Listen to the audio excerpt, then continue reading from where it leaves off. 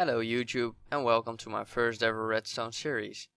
My name is Deathnite and this is a nice device I recently created.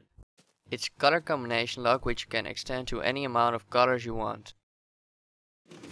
So the color combination I use for this video are the colors pink, red, blue and then green. So the only problem I'm having now is that the buttons are not spam proof so if you spam the buttons uh, the pistons will turn too many times, which will uh, change the combination lock, which isn't something anyone wants. So pressing the buttons fast will just result in a change of color combination.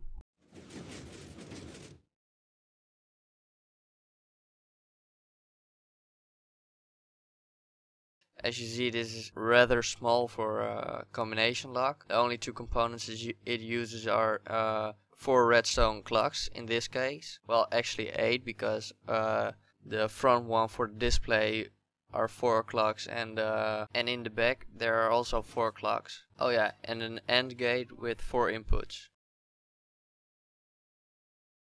Thanks for watching the preview of this device. Uh, you can expect a, a video tutorial about this device very soon, I hope. Um, so yeah, see you next time. Thanks for watching.